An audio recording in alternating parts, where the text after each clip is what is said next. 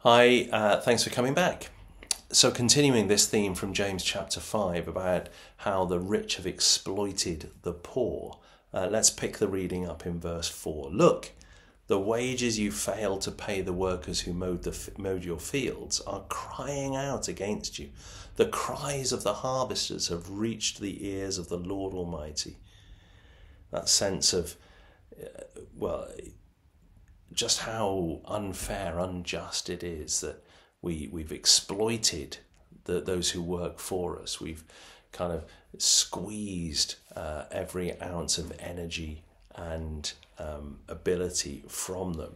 Uh, and even when they cry out first to us, they're crying for fairness, they're crying for justice, they're crying for equality um, against their masters. And those cries that are unheard or unheeded by the rich exploiter are heard by the Lord Almighty. And He's going to, going to judge the rich based on what He has heard from those who are poor. That's what we're getting at here. Uh, the, the, the dishonesty of the people that he's attacking. I don't think James is is is criticizing those who have who are wealthy, who've made money. What he is criticizing is those who have failed to use that for the benefit of others, who've exploited others to be able to gather this wealth. But look, the wages you failed to pay your workers, the cries of the harvesters, they've all reached the ears of the Lord Almighty.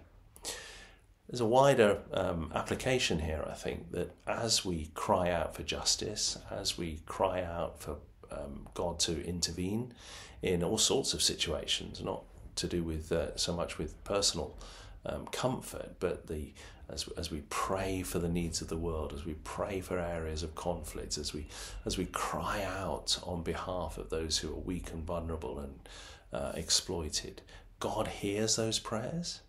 And I love the kind of reminder of that that James gives us here. God hears those prayers and He hears the passion, He hears the, the angst that we carry and the desire that we have to ensure that everything um, comes to uh, comes to pass in a way that is fair, in a way that is in accordance with His will and not with our greed.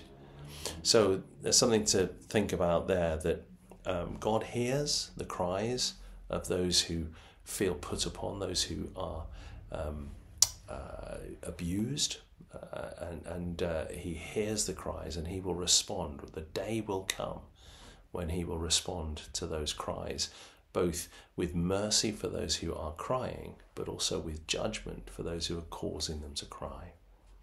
Let me pray. Father, you blessed us in so many ways. Help us to bless others. Amen. Amen. Short and sweet. I'll see you tomorrow.